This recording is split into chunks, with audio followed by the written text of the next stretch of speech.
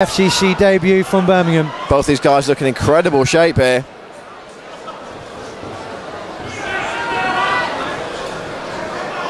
Scott Hick. Oh, Scott takes a right hand there. Stalks his man in the cage. Closes it up. Now he's looking for that body lock. Perhaps going for a takedown here is Scott Hancox. Yeah, Scott was looking to uh, to force it from the start, wasn't he? Looking to press him on the stand up. Now looking to press him up and take him to the ground. Good takedown defence here from Darren Higgins. Come all the way from Birmingham for this fight. Yeah, you can see Scott Hancox the more local fighter. He's got a lot of support in here tonight. you can see Darren Higgins' muscles flex from here, can't you? Really, really putting up a hell of a resistance against a takedown attempt. Desperately trying to turn his man on the cage is Darren Higgins. Scott Hancox though proving to be resilient. Very, very powerful in the clinch. He's got those double underhooks. He's going to have to do something here though. The referee might look to separate this position. You've got to always be looking to advance positions. If it's a stalemate, the referee's going to split the fighters and start these two facing each other. Yeah, Paul Crossley looking at this was, uh, you know, taking a view from the other side. You're going to see both fighters work. I mean, they are they are shifting. It's difficult from this position. A lot of energy is used up. Like we. Staunch, staunch takedown defence there from Higgins, and he finally manages to turn his man in the cage. Let's see what Darren Higgins can do in a dominant position against the cage now. Yeah, Scott Hancox got that arm trap though, which uh, which is a good good position. It allows him to really fight off any any deep hooks, and they're fighting with some nice knees as well. It's all even Stevens in the clinch here so far between Scott Hancox and Darren Higgins. Yeah, real tight clinching. Hancox trying to throw that knee up high on that occasion, didn't quite land it. Yeah, he's also trying to swing that leg round, looking for a takedown, but um, Darren Higgins is strong on his feet. You know, he's not going to be easy to put onto the map. I'm surprised the referee Paul Cross is let this one go as long as he has in the clinch. Yeah, yeah. These guys are working hard, but there really hasn't been any advance in good positions there. Now Scott Hancox advances, he, he makes the turn. Can he get a takedown from this position though, or can he break away and land some strikes? Yeah, it's got- Sharp knees to the body there from Hancox. Yeah, and a roll again. Darren Higgins pushes off, and there we go. Paul Crossley finally separates the fighters. Now let's see what these guys can do at range. Hancox fires a head kick and a left jab behind it. Both obviously equally matched in strength. Higgins though firing a big right hand. And they clinch up again. Back onto cage side. When you're um, clinching the, against the cage like this, it's all about who can get the head lower. The lower your head is, the more dominant position you've got, the more leverage you can get against your man on the cage. Yeah, and both fighters are quite patient. What you don't want to do is try try and overwork. You've got to wait for the right position at the right time to get the takedown. Otherwise, you're just going to spend energy on, on a lost cause.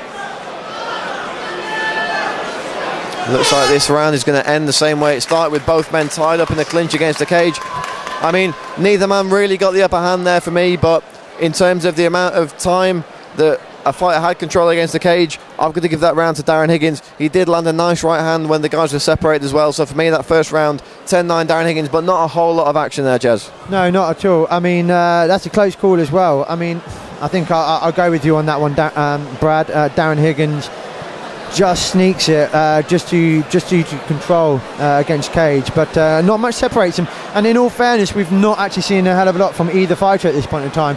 Neither one have demonstrated a, a lot on their feet, or, or and we've, we've not even seen it go to the ground. So all to play for in the next two rounds. Absolutely, Jez.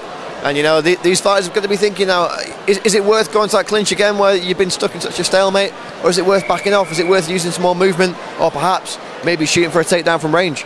Sometimes you just don't have a choice. It just ends up in gridlock, doesn't it? Uh, I think uh, an opening's going to present himself. The further we go on, uh, you know, it's just going to see who, which, which of the fighters can capitalise first. Well, Paul Crossley starts the second round, and Scott Hancox comes out very aggressive, flying knee and a high kick. Referee. And there's been a start. I believe there was an inadvertent low blow there. Paul Crossley stopped the action. Darren Higgins didn't seem to feel it until after the referee stopped the action. No, uh, Scott Hancox came out there, all guns blazing, puts his hand up. You know, obviously not intentional. Is part of MMA, but uh, yeah, Higgins is down at the moment, feeling that. Uh, Well, we didn't see it. Maybe referee Paul Crossley did. He's an experienced official. I'm sure he got a good angle on that. Probably a better angle than we've got here at cage side. Yeah, and Darren Higgins has got plenty of time. He needs to make sure that he's ready to get on with this fight. There's no, there's no pressure on him. Sometimes fighters feel the pressure from the crowd, get up too early, and uh, and end up losing the fight. So you know, advice, if you can hear us now, is just take your time. When Yeah. you're ready, stand up and then you know go for it. Get on with it. In my mind, if you take a, a low blow to the groin, it's an illegal shot, intentional or not. If you've got five minutes, take five minutes and recover. Take all the time you need. Take all the time you have. Yeah, because at the end of the day, all that people remember is that final scorecard. Exactly. You know, Paul Crossley here is one. He's got Hancox against repeated blows to the groin. Hancox adamant that he didn't hit the groin. Um, you know, it's the referee's decision at the end of the day. I'm, I'm sure the instant replay will shed a bit more light on this one. But it looks like we're about to get back on the way for the second round here. Scott Hancox versus Darren Higgins here at full contact Contender 3. Again, a, a confident start with, with some nice kicks there from uh, from Scott Hancox. Yeah, really throwing those kicks, isn't he? He looks confident on his feet. Perhaps trying to throw his man off more than he is trying to finish the fight with one of those kicks. Yeah. And there's, there's a double leg. There's a double leg. He gets his man against the cage. And that's- Can't quite seem to get him off balance though. He, he's going for the inside leg trip there with a body lock. Do you know, all credit due there to Darren Higgins because that was a really, really good takedown defence. Scott Hancox came in there and he- he got, he got some good handles. I thought he was going to pick him up and dump him in his back, but great resistance there from Higgins. And now it's Higgins with his man against the cage. He's got the switch and he's going for a double leg. Some hammer fists. Some big shots there from Scott Wilcox, but he gets taken down. Boom, slam, great takedown. That was a nice work there from Darren Higgins. He's now going to try and cement his position here. Tries to take his back, but he ends up with his man against the cage again as Scott Hancox stands using his back there against the cage. Yeah. Wall walks up and he's jumped into a guillotine choke. This looks very tight here from Scott Hancox. Does he have it in? It looks to be a tight guillotine choke from this position. Is he going to get the submission here in the second round? He's putting everything into this guillotine, absolutely everything. Darren Higgins trying He- to hold on for dear life. He's He trying to to push the his hips out. up. He's got this in very, very tight. Darren Higgins holding on. and he breaks free. Great work from Wow. Darren Higgins. What an awesome resistance there. That's that's got to hurt. That's really got to suck the air out of him. But great resistance from Darren Higgins to It survive wasn't so that. much technical takedown defense as it was pure force of will with that one. Yeah, absolutely gut and mind to get through that. Now, what can Darren Higgins do from this top position? Well, not enough. The bout's been restarted on the feet Yeah. by referee Paul Crossley. Puts him back up, but uh, a great exchange on the floor. Uh, Hancox shaking his arms out there. You know that guillotine's got to bend his arms out. Lactic acid build up from tensing those muscles for so long. Is this going to affect his stand up game? His hands are low. Charges into the cage there. I was That's wondering. Hancox with a nice combination. I just had to check my tie. I thought I had a red tie on there from there for a second. Scott Hancox come run into the cage at me. But he's eager to get on with this fight, eager to eager to cement his position in the second round. Higgins now with his man up against the cage. He's got those hands clinched behind his legs. He's looking to pull those hips out Yeah, but get I- a nice double leg takedown. He's in a good position, but I just don't think he's got the energy. I think that guillotine really starved the oxygen. I think what he wants to do from this point is actually get into the third round and get a bit of a, a respite to recover. Those lungs are going to be burning. He's trying to hoist him. Scott Hancox cheekily grabbing the cage there to prevent that takedown at the end. Yeah, I'm glad you saw that too. I think uh, all but for the quick uh, quick outreach onto the cage, that would have been a big slam. But uh, Well, Darren Higgins' corner just complained to the referee at, the end of that round. It was the third time he grabbed the cage, and our referee Paul Crossley now warning the corner of Scott Hancox against grabbing that cage for another time. you know what's going to come really into this final round here is uh, is the fitness, the endurance of both fighters. Both have worked really hard from, from, from the feet onto the ground, up against the gauge, as we said earlier. You know, both fighters will spend a lot of energy trying to work and get a dominant position. Jez, how have you got this fight gone into the third and final round? Oh, you would have to ask me that, wouldn't you? I would. it's my job. Um, I think I think it's got to go to Scott Hancox really now. I think that second round was uh, just just just took it. Um, so he, I think he's in he's in control entering the third. Obviously one apiece, but um, you know he's in a strong position now. Let's see if he can follow through and uh, and finish this fight up. Well, we're ready. We're about ready for the third round here at full contact contender three. Scott Hancox versus Darren Higgins. I'm Brad 48 Wharton here with Iron Jez Cook at the commentary position. Third round. Let's get it on. Referee just getting a towel out of the ring there. And we're off in the third round here. Scott Hancox, Darren Higgins. It's been a closely contested affair thus far. Hancox throwing a nice body kick out there. We, we've seen him use that earlier in the fight. Yeah. Trying to use it again in this third round, perhaps to set up a big right hand. He's throwing a lot of these kicks up. Not a lot of them are connecting though. No, but both fighters looking lively on their feet, just trying to find that range with the kicks. You've got to wonder, you know, when, when there's not that much to separate two guys, is the guy who looks more active going to get the, the judge's score at the end of the fight? Yeah, you've got to be though, don't you? I mean, if you if, if you're in the hearts and the minds of the judges, that's where the fight's going to be won, isn't it? So you know, you, you need to be throwing things, you need to be pushing, you need to be pressing. Get yourself get yourself ingrained in the judges judges' mind put it down on scorecards. But a very close fight here. Um, Higgins has done well. He's come out. You know, I think I think he really needed that rest. Um, but he's still got a, a lot of time in his hands, and he needs to needs to control this now. And he needs to try and take this because it's Scott Hancox. I think uh, he's comfortable at the moment. He's happy. Well, Higgins came out with a nice combination there after the break.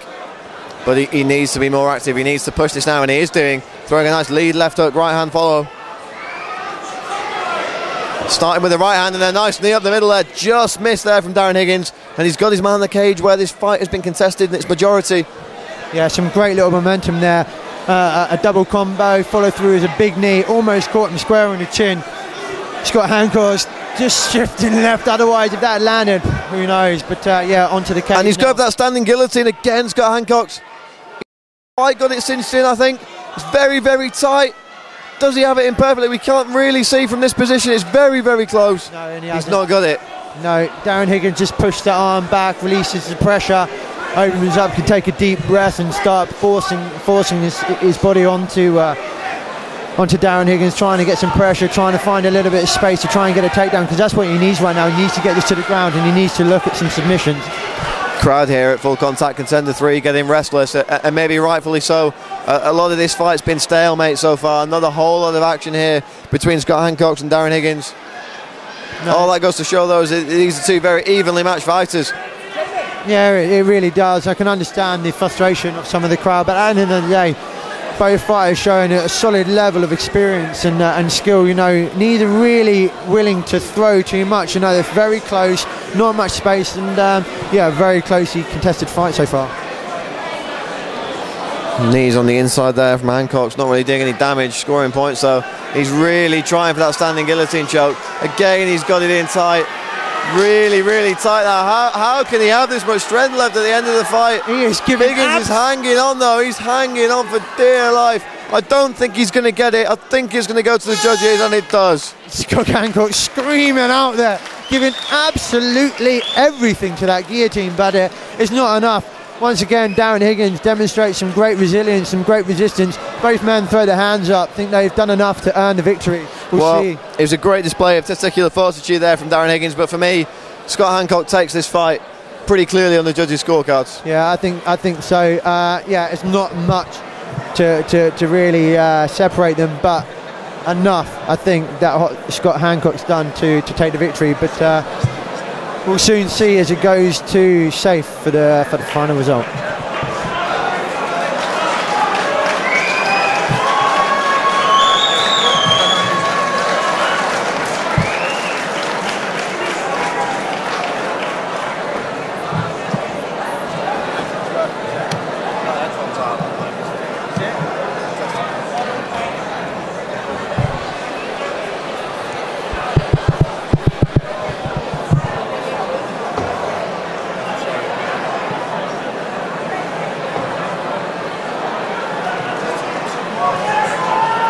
Why don't why do you sit there so when you leave after this fight, you don't turn your mind? You know, go do your top contact of this fight. Oh, right, okay.